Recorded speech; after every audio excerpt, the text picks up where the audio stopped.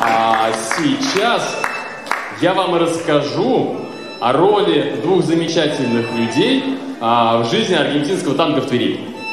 Значит, были у нас в истории 10 лет назад, сентябрь 11 года, как сейчас помню, приехали Маша с Пашей к нам с первыми семинарами и рассказали нам, как вообще танцевать танго. Они учили а, тех, кто учи, учит нас, которые учат теперь других. То есть уже поколение через поколение прошло. Некоторые даже ученики сейчас танцуют в Буэнос-Айресе уже несколько лет, а там тоже других учат. Вы понимаете, да, какая вот цепочка? Поэтому, Маша с Пашей, спасибо вам огромное.